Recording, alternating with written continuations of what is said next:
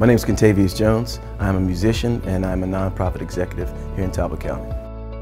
Though we're a small community, we have tons of outlets for art. We have recording studios, we have amazing venues, um, the premier venue being uh, the Avalon Theater, which is where we are right now, which I consider home court. Also at the Avalon, there's a smaller venue called the Stoltz Listening Room.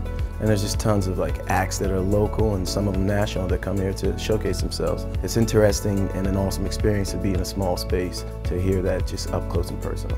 The, the variety and the, the kind of expansive genres that pop up here and show up is, is amazing. You can see a bluegrass show on a Thursday night, you could see a rock band, you could get jazz. It's really kind of surprising you know, how much variations of music you can get in a small community. Easton has all the charm of a small historic town, but with cosmopolitan amenities and most of all, the art scene.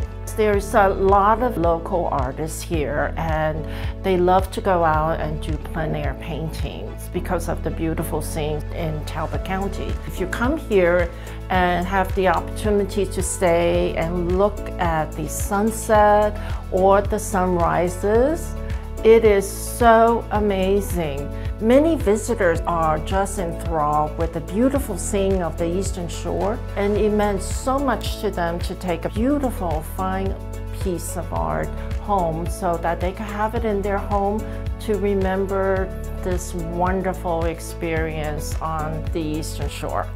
For the person visiting Talbot County, uh, I think the first thing they notice is the pace of life. Everything kind of slows down a little bit. The landscape, you know, speaks for itself. It's just a beautiful place. Prior to plein air painting, everybody typically worked in this dark studio and just, you know, painted apples on a table or a portrait.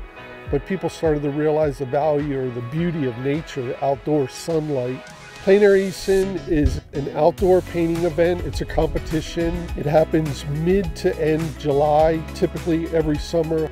50 some artists. They come from all over the world and you basically go out for that whole week and you paint the best paintings that you can. I really feel like it's launched a lot of artists' careers. Coming to Talbot County, you're going to experience so many cultural and artistic endeavors. You have a ton of artists living here the, the culture of our community as far as arts is concerned is diverse and it's reflected in the artworks you see exhibited um, from the galleries downtown to the music that you see. There's a diverse uh, group of people who just want to see and hear and experience new things. And I think that that's valuable and I think that it's something that many folks should come and enjoy.